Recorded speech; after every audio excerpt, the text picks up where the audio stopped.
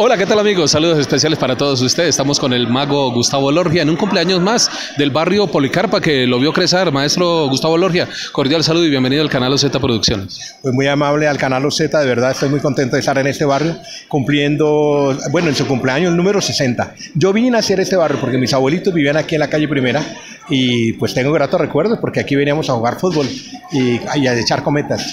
Hace 60 años, efectivamente. Claro que yo tengo 50, ¿no? Ah, sí, claro, bastante joven. Lo conocemos desde cuando trabajaba en la televisión. En los años 80 estaba, estaba bastante pequeño. O antes, o antes, eh, cuando estaba trabajando en Animalandia con Pacheco y, y sí, hace muchos años. sí. Exactamente. Hoy le acompañaron algunos colegas. ¿De quiénes se trata? Sí, sí, estuvieron magos muy importantes. Venga, los invito. Eh, ven, eh, llama por favor a nuestro colega que participó con nosotros. Ven para acá. Eh, se lo- él, él se presenta, mira. él- ¿El mago? Comediante. Hola, la. Hola, la. Hola, la. Comediante, mago, claro, muy bueno. Y también nuestro amigo muy de muy buen nivel mágico.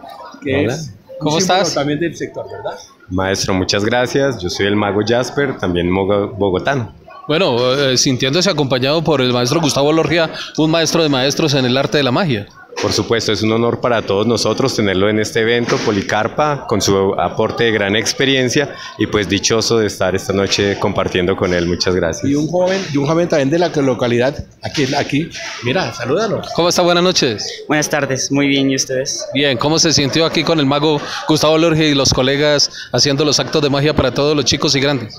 Pues la verdad me sentí muy halagado porque gracias a, a todas las personas que están aquí pude estar acá mostrando mi talento y, y en lo que soy bueno. Y además yo siempre quise conocer al- a Gustavo Lorgia desde pequeño y, y ha sido un honor para mí estar hoy presentes con todos ellos. Claro que sí. ¿Cuál es el acto que más le gusta de Gustavo Lorgia? Bueno, el acto que más me gustó fue cuando corta la, a, la, a la mujer y después la divide, pero, pero desaparece, pero aún sigue estando en la caja. Es un truco difícil de aprender, ¿no? Sí, señor. Y no, no lo vaya a practicar porque a mí me pasó una vez y me falló. Alma bendita. Era una muchacha muy querida, era una muchacha de Medellín. Murió. el mago Donner también nos acompaña. ¿Qué tal? Buenas noches. El- Listo, el- el Otto. culpable, el culpable. No, Otto, gracias y gracias al maestro que le hice la invitación y bueno, después de, de tanta agenda tan apretada, después de pandemia, ¿no? Sí, sí, sí. Eh, ya logramos hacer esto y esperamos repetir este mismo acto en varias, ojalá las 20 localidades de Bogotá. Maestro, ¿hace cuánto no se presentaba con tantos magos a su alrededor? Eh, La verdad, hace mucho tiempo porque pues yo soy muy joven, ¿no? Entonces la falta de experiencia. no, sí, pero con la pandemia estuvimos parados año y medio, no teníamos la oportunidad. Y hoy qué bueno compartir con esta gente joven, son gente que le está metiendo el hombro, le meten dinero, eh, tienen un buen maestro y yo también les voy a ayudar un poquito a, un poquito, un poquito. Claro que sí. Y que no es lo mismo estarse presentando virtualmente a través de em, el, un computador, de una cámara, a estar con el contacto directamente con el público, con los niños. Yo odio el computador, odio lo virtual, porque esto es lo que me enriquece, me llena. Hoy estoy feliz, en este momento estoy, no me cambio por nadie. Me imagino que debe tener la agenda apretada tanto a nivel nacional como internacional porque sus actos son muy buenos. Bueno, eso dice Donner, estaremos en Udme, Chía, Zipaquirá, Memocón Y en Fusagasugá. y, y- y por ahí. Muy bien, perfecto. ¿Ya No, cuántos pero hablando, hablando en serio, sí nos gustaría estar en todas las localidades de Bogotá, porque este es un show familiar donde tanto el abuelo como el niño se divierte, se entretiene y es sano. Es, es el mensaje es que es un- y como hobby es algo muy sano, muy divertido, ¿no? Ok.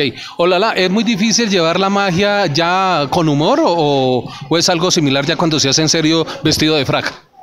Eh, no, es algo, es algo que me fascina la magia con, la, con el clown. He intentado mezclarlos, hacer locuras en el escenario y hemos tenido buenos resultados. Claro que como todo, a veces salen las- los disparates más grandes, pero se ha intentado hacer cosas diferentes. Bueno, cuando un acto de magia no suele mm, salir como ustedes lo planean, ¿es, no, no. es No, no, no, difícil? no, le contestemos, no, no, no, no, nada, no, nada, ni contamos ni revelamos los secretos. No, no, naturalmente, no hay que revelarlos. noche, hasta luego.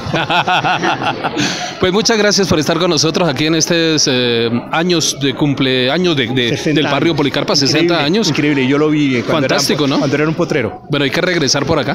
No, yo encantado, además me parece un barrio muy bueno y la gente muy querida.